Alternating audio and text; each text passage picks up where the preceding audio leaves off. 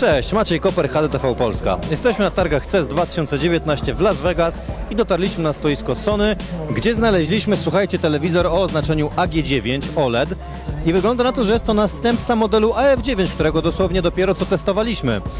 A w zasadzie dowiedzieliśmy się, że te serie będą trochę równolegle szły na początku, natomiast bez dwóch zdań jest to telewizor nowszy. Ma matrycę nowszej generacji, których, której cech jeszcze nie znamy. Nie wiemy, czy będzie ona jaśniejsza. E, no czerni lepszej mieć nie będzie, bo wiadomo, że jest to idealne. Natomiast być może coś się udało poprawić z tą jasnością, o którą wielu z Was e, się zastanawia, prawda? Czy, czy tych nitów udało się więcej uzyskać.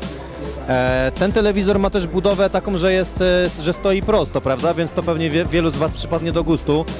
Patrząc z tyłu, no Również jest klasycznie, więc nie ma tej wielkiej stopy, która powoduje odstęp od ściany.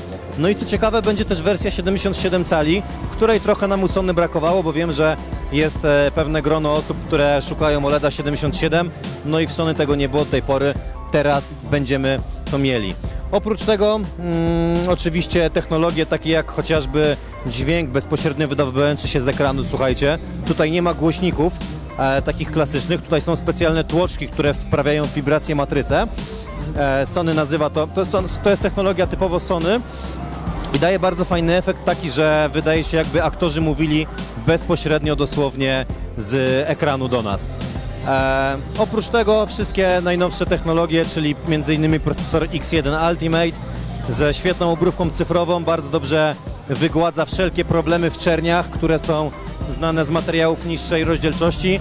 To jest typowa cecha Sony, której, której w zasadzie nikt inny nie potrafi zaoferować. Jeżeli chodzi o system operacyjny, to mamy oczywiście tutaj najnowszą wersję Android Oreo 8.0 na zaktualizowanym procesorze, który już znamy z AF9, więc e, interfejs chodzi bardzo przyjemnie, szybko, no i ma nowy design.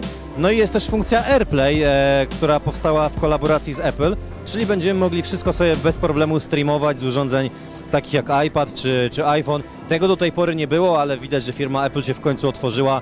Fajnie, będzie integracja z innymi. No i co, zobaczymy co będzie potrafił, szczególnie ze względu na tą nową matrycę. Kiedy już przyjdzie do kraju, do sprzedaży, bo jest to oczywiście model produkcyjny na 2019 rok. Także oglądajcie, bo będziemy temat e, śledzić i do zobaczenia.